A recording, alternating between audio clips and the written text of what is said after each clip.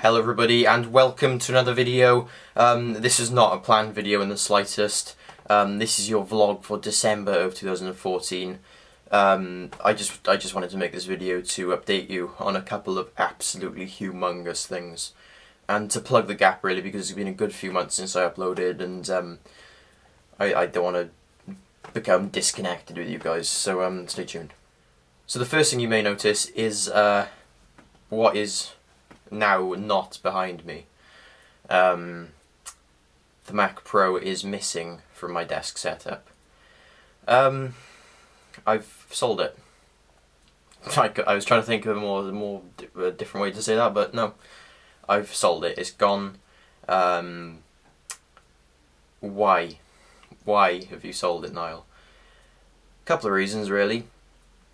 One, depreciation and future value. Um, these Mac Pros are dirt cheap now.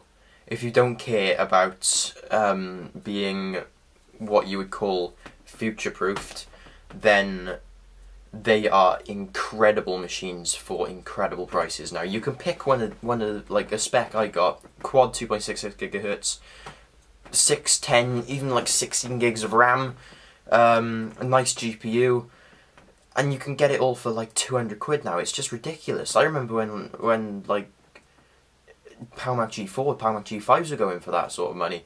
It's just crazy how much power you get for for, for so little money now.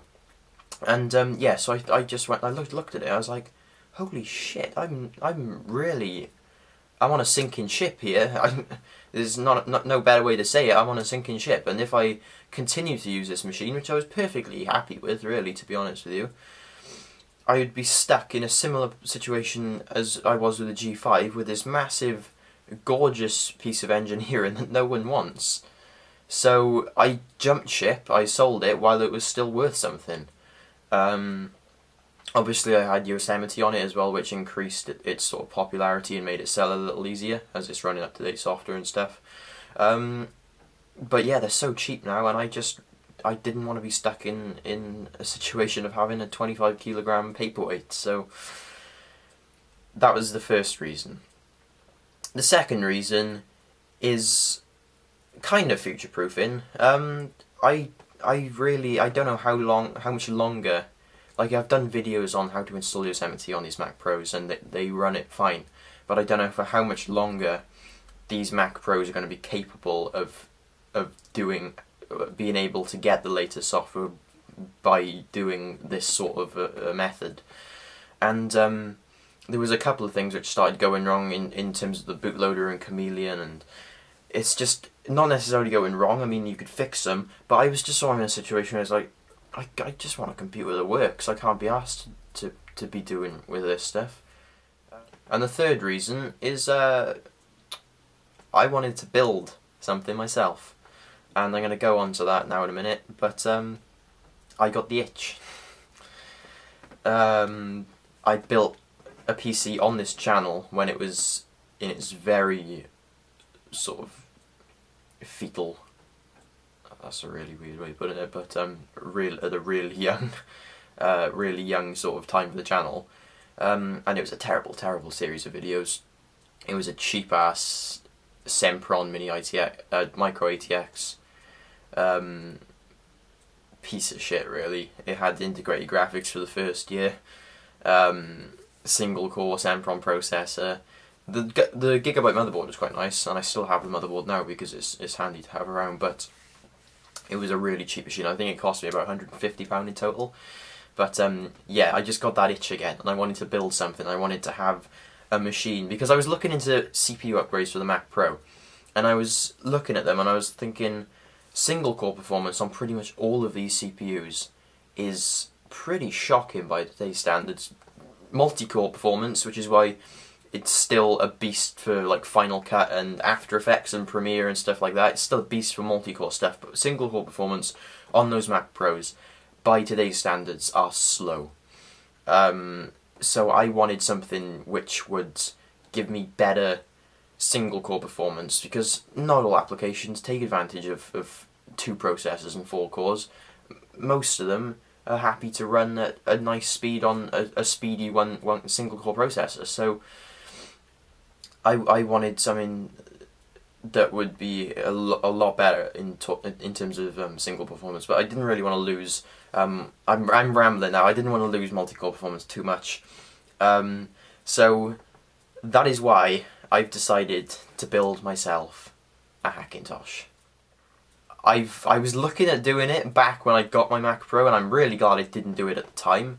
Um, but now is the right time, in my opinion. I, I I'm just itching to get going, and I have nearly all the parts here. I have one part now to come through, and then I'm good to go. Um, I'm going to put the specs on screen now.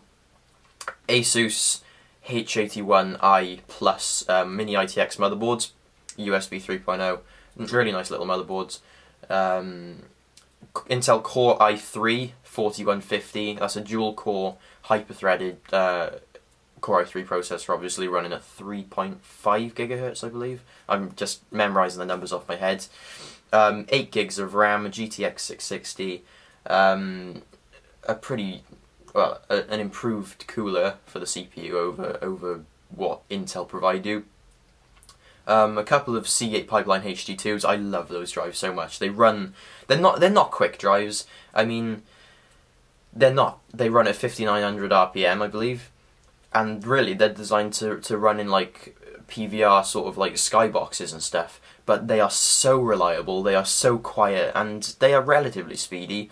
So I, I'm I'm just I'm I adore, and I know I know a couple of people that are with me on that Seagate Pipeline HD2s. They're just awesome drives. So I got a couple of those um, to pop in there, um, and I think that's all of the specs. Yeah, apart from the case, which is going to be um, obviously the Mini ITX BitFenix Phenom. Now, many of you are probably aware of the BitFenix Prodigy. That's a sort of Mac Pro-esque uh, Mini ITX case. And it's a really nice case. But I went with the Phenom for a couple of reasons, really. One, I don't like the handles. I mean, I love the handles on the Mac Pro and the G5, but they have like really like flimsy, plastic, flexible hands. I'm going to go into more detail when I do the full Hackintosh build, but I don't like the the handles on the Phenom. They feel really crap and um, I just really like the minimalist sort of design of, of, of the Phenom case, and the internals are just genius. The horizontally mounted motherboards, um, you can fit a, a, proper ATX power supply in there, the awesome amount of space in there for, for like tower coolers and I mean like 12 inch, 13 inch long I believe they can take graphics cards, and um, you can fit hard drives literally everywhere. So it's a really really flexible case and for, for what I was looking for it's just perfect. I wanted to build mini, mini ITX because I just I, I like the idea of having now a, a, a nice compact but expandable and upgradable small form factor computer. Yeah, it's it should be awesome.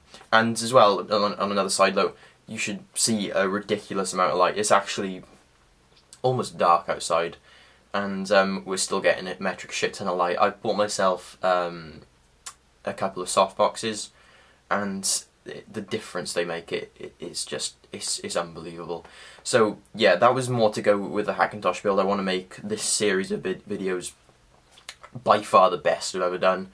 Um, really nice 24 frames per second cinematic sort of shots of all the parts and stuff, and I really want it to to be a proper high quality sort of series of videos. So I'm just rearing to go. I'm just waiting for that one part. Oh, the power supply. I forgot to put. That's one I'm waiting on. The power supply.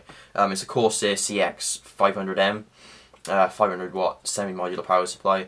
Um, there are a couple of bad reviews out there, but the general consensus is, is they're alright. And 500 watts for for this system is gonna be is is is is breathing space really. I mean. People say, "Oh, are you sure 500 is going to be enough for the 660?" But it, will it, it'll be fine. The, the 660 uses 150 watts of the max, and the rest of the system I don't see using more than 150, maybe 200 tops. So it should also be a relatively energy efficient computer. The Mac Pro is a beast, but it had a 1000 watt power supply, and the electricity pills they just they were just ridiculous. So it it should keep. It, it should also run a little bit cooler um, although my Mac Pro did say really cool, the power supply did kick out a lot of heat. Nice compact, little, relatively little 500 watt power supply. It should it should keep the room a little bit cooler, and yeah, it should just be a really nice system overall, and it should make for some awesome, awesome videos. So um, yeah, I just wanted to keep you up to date. Hackintosh, well, the Mac Pro's gone. Hackintosh is coming very, very soon, within the next week, possibly.